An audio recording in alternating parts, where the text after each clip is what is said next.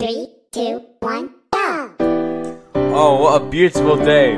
It would be a shame if any random stairs fell out of the sky and hit